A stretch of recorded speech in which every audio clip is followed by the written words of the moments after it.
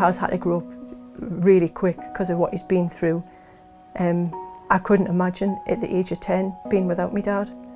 Just, I just don't know what goes through his little mind.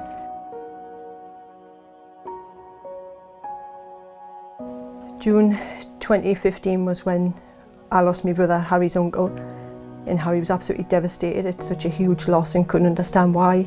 And then 10 months later, his dad was diagnosed with cancer. And after three weeks of the diagnosis, his dad passed away.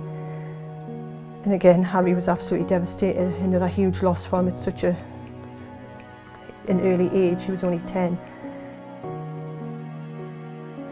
So again, he wanted to do something for people living with cancer, try and raise money for them, to help them.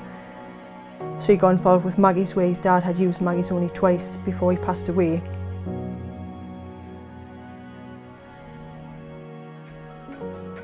Yeah, Harry wanted to do something different to try and raise money. He didn't just want to do a sponsored walk or a, a sponsored run.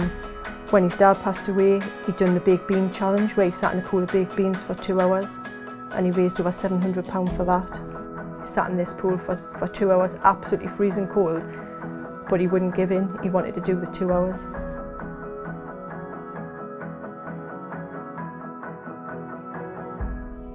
Well, I would like to say that Harry, thank you so much for walking into the centre with his mum and for his mum bringing him in. He's a wonderful young man and I'd like to thank him as the centre head from the bottom of my heart for all the fundraising he does.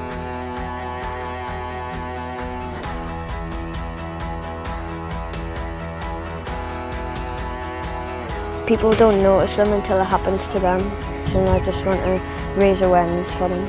I was just so proud of him. Like everything he had been through and he was putting other people first to try and help other people. I just just so proud of him.